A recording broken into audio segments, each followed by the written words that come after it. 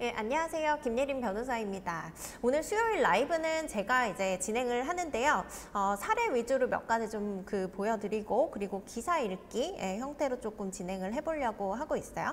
날씨가 너무 더워가지고 요즘에 다들 휴가 가셨을 텐데 어, 이제 그럼에도 불구하고 최근에 이제 부동산 경기가 조금씩 살아나다 보니까 이 투자 문의가 상당히 많이 예, 늘어난 그 상황으로 볼 수가 있을 것 같아요.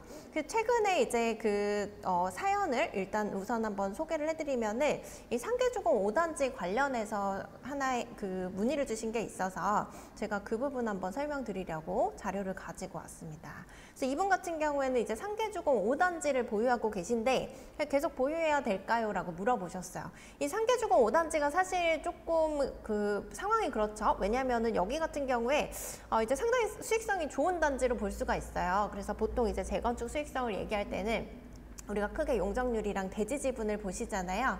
아, 근데 용적률은 낮을수록 좋은 거고, 왜냐면은 이게 용적률이라는 거는 그 용도 지역에 따라서 최대 상한 용적률이 정해져 있어요. 정해져 있는데, 거기까지밖에 이제 집을 못 짓는 거죠. 이렇게 층수를 높이지 못하게 되는 건데, 예, 용적률이 많이 남아 있을수록 지금 현재 아파트가 저층일수록 이제 그 많은 세대를 또 추가로 늘릴 수 있는 부분들이 있어서 재건축 사업 수익성이 전반적으로 좋아진다라고 볼 수가 있겠죠.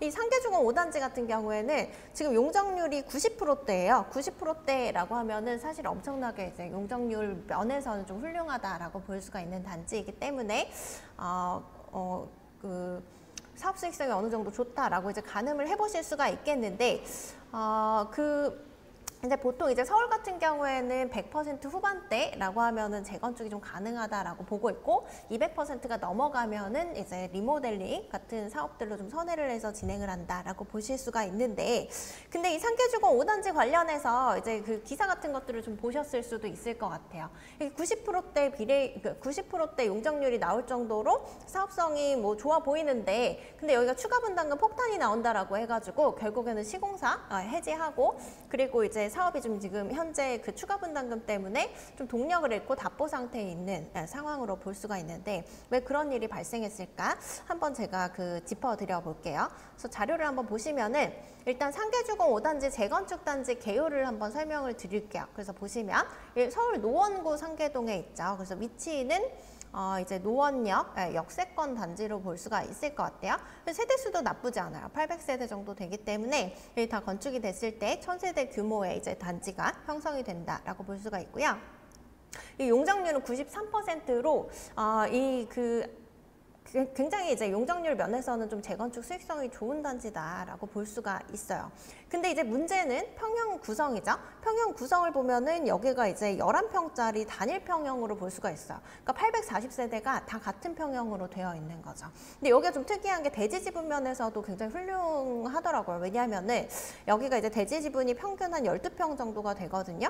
실제로 이제 그 아파트 면적보다도 대지 지분이 조금 더큰 예, 그런 형태의 이제 단지다라고 볼 수가 있어 서 용적률과 대지 지분 둘 다 이제 재건축 수익성 면에서 그냥 단순히 봤을 때는 훌륭한 단지로 볼 수가 있다라고 보시면 될 것 같아요.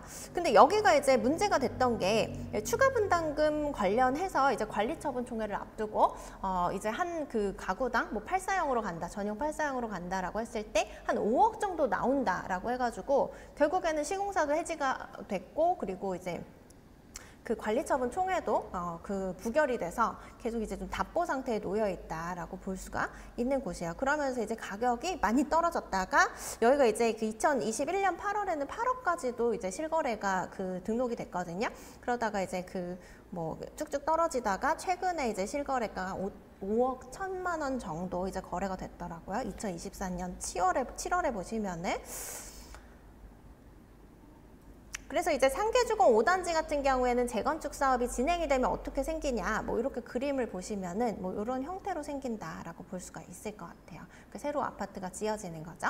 그리고 여기가 제3종 일반 주거 지역이기 때문에 용적률을 뭐 최대로 받으면 299.73% 굉장히 이제 최대로 다 꽉꽉 채웠다라고 볼 수가 있고 어, 20개 동 이제 지하 2층에서 지상 35층까지 규모로 이제 만들어진다라고 볼 수가 있는데 어, 이제 세대수 평형 구성을 한번 볼게요. 아까 800 440세대였잖아요. 여기다 이제 996세대로 늘어나는데 거의 뭐 1000세대 규모로 볼 수가 있겠죠. 근데 그중에 또 임대주택을 공급을 해야 용적률 인센티브 같은 것들을 또 받을 수가 있기 때문에 그중에 임대는 156세대다라고 볼 수가 있고 어, 평형 구성을 보시면은 기존에 이제 어, 전부 다 이제 31제곱미터 로 되어 있었죠. 840세대 전부 다 이제 31제곱미터 단일 평형으로 볼 수가 있는데 어, 여기 보시면은 평형 구성이 다양해졌죠. 당연히 그럴 수밖에 없는 게 지금 31제곱미터로 전부 다 지으면 수요가 없잖아요. 예, 4인 가족 기준으로는 뭐 거의 살 수가 없는 면적이고 우리가 이제 국민평형으로 부르는 것도 전용 8사형. 이제 최근에는 사실 이제 그 아파트 가격이 많이 상승하면서 예, 국민평형이 좀 바뀔 바뀌었다라고도 보시는 분들이 있더라고요. 그래서 이제 전용 8사형 이 아니라 요즘에는 이제 전용 5구형이다 이렇게 말씀하시기도 하는데 어쨌든 간에 이제 전용 8사형 정도 이제 면적이 돼야 30평대 정도는 돼야 4인 가족 기준으로 어, 어느 정도 이제 가구를 가게를 좀 꾸려나갈 어, 수가 있다라고 봐서 이제 국민 평형을 보통 8사형 그리고 가장 수요가 많은 평형도 8사형으로 보고 있죠. 그래서 이제 기존의 31제곱미터를 다 31제곱미터로 새로 지으면 세대수가 많아지겠죠. 그렇게 되면은 당연히 일반 분양 세대도 늘어나서 이제 추가 분담금도 조합원들 많이 안 내도 되는데 이 평형을 이제 늘려 짓는데 이제 비용들을 쓰다 보니까 조합원이 31제곱미터에서 8사형을 분양을 받으려면 내가 내 집을 늘려 짓는데 이제 비용을 많이 소모를 해야 된다라는 거예요. 그러다 보니까 이게 용적률과 대지 지분이 좀 훌륭함에도 불구하고 내 집의 평형을 늘려 짓는데 비용을 많이 쓰다 보니까 아무래도 추가 분담금이 많이 나오게 되는 그런 구조가 될 수밖에 없다라는 거죠. 그래서 재건축 단지에 투자하실 때 보셔야 되는 거는 단순히 이제 용적률과 대지 지분만 보시는 게 아니라 현재 이제 평형이 어떻게 구성되어 있는지를 좀 보셔야 돼요. 그래서 단위 작은 평형으로 구성이 되어 있다 주로라고 했을 때는 재건축 부담금이 좀 많이 나올 수 있는 부분들이 있기 때문에 어, 그런 부분들을 좀 눈여겨 보셔야 되고요. 아무래도 이제 큰 평형들이 있으면 이걸 쪼개서 세대수를 늘리는 데 활용할 수 있는 부분들이 있기 때문에 어, 그냥 직관적으로 생각을 하셔도 어, 그 작은 평형보다는 큰 평형 위주로 이제 구성된 단지가 수익성이 높다라고 보실 수가 있을 것 같아요. 어, 여기 상계주공 5단지 같은 경우에는 31제곱미터 단일 평형이기 때문에 사실 뭐 장단점이 있겠지만 뭐 장점 중에 하나로 꼽자면은 이제 단일 평형 같은 경우에는 아무래도 이해관계가 아, 좀그 감명할 수가 있어요. 그래서 조합원별로 가지고 있는 평형대가 너무 이제 차이가 많이 난다라고 하면은 재건축했을 때 이해관계가 달라질 수가 있거든요. 아무래도 이제 큰 평형 가지신 분들이 조금 손해다라고 느끼실 수가 있기 때문에 어 이제 그런 부분들 때문에 좀 이해관계가 첨예하게 대립이 돼서 조합원 뭐 그 총의가 잘 그 모아지지 않는 경우들이 있는데 아무래도 단일 평형이다라고 하면은 이런 부분들에 있어서는 좀 신속하게 사업이 진행될 가능성이 있다라고 보실 수가 있을 것 같아요. 그리고 여기 같은 경우에는 지금 조금 특이한 게 현재 이제 그 GS가 원래 시공사로 선정이 되어 있었어요. 선정이 되어 있다가 어, 이 추가 분담금 한 5억씩 내라라고 하니까 이제 사람들이 그 조합원들이 좀 반발을 해서 예, 시공사 해지가 됐죠. 해지가 되고 지금 선정하려고 절차를 진행하고 있다라고 볼 수가 있는데 어떤 시공사가 들어와도 사실 이제 공사비라는 거는 최근에 많이 올라 버렸기 때문에 어, 그 뭐 추가 분담금을 많이 낮추기는 좀 어렵다라고 볼 수가 있을 것 같아요.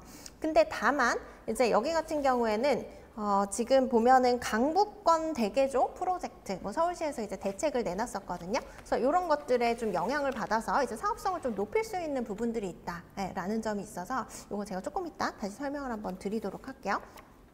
그리고 여기 이제 또 그 그 보셔야 되는 게 한국 자산 신탁이 사업 시행자로 사업 시행자로 지정이 돼 있어요. 이게 신탁 방식 재건축이 진행이 된다라는 거죠. 이 신탁 방식 재건축은 제가 많이 설명을 좀 드리기는 했었는데 신탁사가 이제 사업 시행자가 돼서 재건축 재개발 사업을 진행한다라고 보시면 되거든요.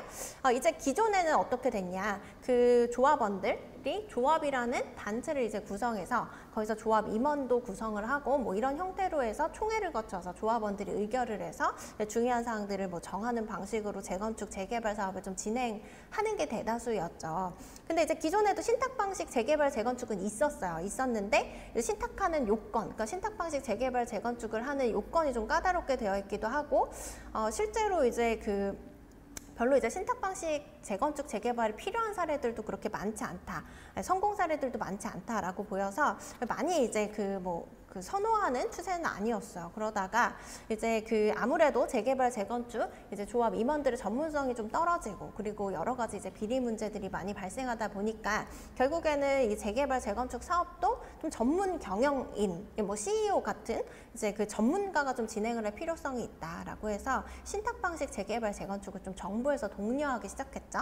그러면서 원래 이제 신탁 방식 재개발 재건축이 되기가 좀 어려웠던 거는 토지 소유자 3분의 1, 어, 그 신탁 등기를 해야 돼요. 신탁 등기를. 근데 이 신탁 등기라는 거는 신탁사한테 이제 형식적으로만 내가 소유권을 넘기는 거기는 하지만 사실 이제 그 소유자들 입장에서는 굉장히 좀 부담스러울 수가 있거든요. 그래서 이런 요건들을 좀 갖추기가 어려워서 이 재개발, 재건축, 신탁 방식으로 이루어지는 게 좀 어려웠다라고 볼 수가 있는데 어, 이런 요건들을 없애주고 그리고 좀 사업이 좀 빨리 진행될 수 있게끔 또 이제 그 정부에서 좀 독려를 하다 보니까 최근에 뭐 목동이나 여의도나 이런 상계동 쪽에서도 어, 그 신탁 방식으로 재건축을 진행하는 사례들이 많이 늘었다라고 볼 수가 있고요. 예전에는 이 신탁 방식 재건축 관련해서 수수료가 굉장히 또 부담이 됐었거든요. 근데 이제 최근에는 좀 이 신탁사들도 이제 재개발 재건축을 하려는 단지들이 늘어나다 보니까 아 이제 수수료도 많이 낮췄어요. 그래 많이 낮춰서 또 이 부분은 또 재건축 초과액 환수제 같은 곳들에서 이제 비용으로 공제를 해주다 보니까 또 이제 그 주요 단지들에서 이제 재개발 재건축을 좀 신탁 방식으로 가보자라고 이제 판단을 하시는 곳들이 좀 많이 늘어났다라고 볼 수가 있는데 상계주공 5단지도 그런 그 단지 중에 하나다라고 볼 수가 있겠죠. 근데 여기 같은 경우에는 원래 이제 신탁 방식으로 진행을 하면은 이 장점은 제가 아까 말씀드린 것처럼 전문가들이 진행을 하는 거다 보니까 아무래도 여러 가지 이제 뭐 사업 수익성 면에서 뭐 공사비나 뭐 사업비 같은 것들을 좀 이제 전문가적인 입장에서 좀 확인을 하고 그리고 이제 뭐 시공비도 좀 낮추고 그리고 신탁 방식 재개발 재건축 신탁사가 금융회사잖아요. 그러다 보니까 이제 저리로 돈을 빌려줘서 어 이제 공사비 같은 것들도 이제 분양불 방식이 아니라 이제 그 기성고 방식으로 돈을 지불할 수 있기 때문에 뭐 공사비를 좀 낮출 수 있는 장점들이 있었어요. 근데 이제 상계주공 5단지는 이 신탁 방식으로 진행이 됨에도 불구하고 현재 그 시공사 어, 그, 그 추가 분담금이 너무 많이 나오게 된 거죠. 너무 많이 나오게 돼서 이제 시공사 계약도 해지가 되고 이제 지금까지는 굉장히 성공적으로 좀 빠르게 진행이 됐다라고 볼 수가 있는데 어, 이제 최근에 이런 그 추가 분담금 이슈로 인해서 좀 멈춰 있다라고 볼 수가 있을 것 같습니다. 어, 그 상계 그 주공 5단지 재건축 계속 보유를 하셔야 될까 물어보셨는데 일단은 이제 추가 분담금 분담 여력이 있는지 좀 보셔야 될 것 같아요. 그래서 주변 시세랑 좀 비교를 하셔야겠죠. 그래서 주변 시세랑 좀 비교를 하시면 되는데 요거는 제가 조금 이따 이제 설명을 한번 드리고 일단 개발 호재를 좀 보여드리면은 여기 같은 경우에 아까 그 위치에서 보셨죠. 그래서 4호선, 7호선 노원역 역세권 단지다라고 해서 교통이 아, 굉장히 편리하다라고 볼 수가 있고요. 그리고 이제 그 뭐 이 노원군 노도강 쪽이 그 상, 상계동을 포함해서 예, 좀 뜨게 된 게 GTX 때문이죠. 그래서 그 이, 여기가 사실은 이제 강남 접근성, 뭐그 여의도 접근성 이런 것들이 좀 많이 떨어졌었는데 이 GTX가 예정이 되면서 이런 부분들이 크게 개선이 될 가능성이 높아졌거든요. 그래서 이제 가격이 조금 많이 상승했다라고 볼 수가 있는데 여기 창동역 한정거장 가면 창동역인데 노원역에서 GTX C가 예정이 돼 있어요. 그러면 이제 강남이나 여의도까지도 어, 뭐 한 10분, 20분 이내 또 그 도착할 수 있게 되기 때문에 때문에 교통이 굉장히 크게 이제 그 어, 개선이 되는 곳이다라고 보실 수가 있겠죠. 그리고 교육 환경. 그래서 상계동 쪽이 사실 이제 그 교육 환경이 좋아요. 학군도 좋다라고 보고 그리고 학원가 같은 것들도 잘 그 구성이 되어 있거든요. 그래서 이제 어, 좀 메리트가 있는데 보시면 상수초등학교, 뭐 신상중학교, 상계중학교 뭐 이런 곳들이 다 도보로 이제 접근할 수 있는 위치에 있다라고 볼 수가 있고 이 은행사거리 학원가 가보신 분들은 알겠는데 이제 목동처럼 굉장히 큰 건물이 다 이제 학원으로 네, 들어서 있는 그런 교육 환경을 갖추고 있어요. 이제 상계동 쪽이 은행사거리 학원가도 이제 도보로 또 접근이 가능한 그런 위치에 있다라고 보실 수가 있을 것 같아요. 그거 말고도 이제 병원이라던가 뭐 백화점이라던가 뭐 이런 것들이 주변에 잘 갖춰져 있고 그리고 이제 기타 호재로는 주변이 이제 다 개발이 된다라는 이슈가 있는 거죠. 그래서 그 개발 단위가 그러니까 상계주공 5단지만 지금 되는 게 아니라 주변에 이제 대대적인 개발이 이루어지고 있기 때문에 여기가 교통 면에서도 굉장히 획기적으로 개선이 되고 이제 주변 환경 면에서도 굉장히 좋아질 수 있는 곳이기 때문에 이제 호재가 있다라고 보실 수가 있는데 먼저 보시면 상계 뉴타운은 재개발이죠. 상계 뉴타운 재개발로 볼 수 있는데 이 상계 뉴타운 쪽은 재개발임에도 불구하고 상당히 수익성이 떨어지고 좀 무허가 건물 같은 것들이 많아서 이제 그런 부분들에 대한 어떤 입주권 리스크 같은 것들이 존재한다라고 보실 수가 있고 좋은 차를 사기 전에도 이사를 가기 전에도 크게 다치기 전에도 항상 미리 대비를 해놓는데 부동산은 왜?